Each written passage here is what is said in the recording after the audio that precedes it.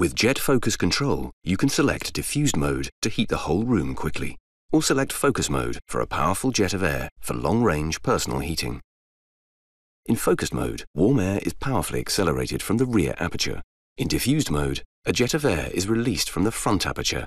The airflow is guided over a 45-degree projector, which sends the airflow wide.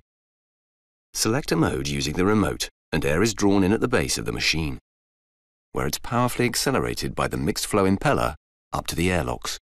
They channel airflow between the front and rear aperture.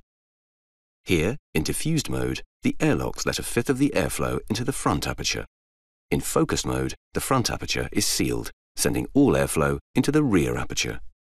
As airflow is accelerated around the loop, it is heated by PTC ceramic plates. Then, it's powerfully projected in focus mode, or diffused mode for hot and cool functionality.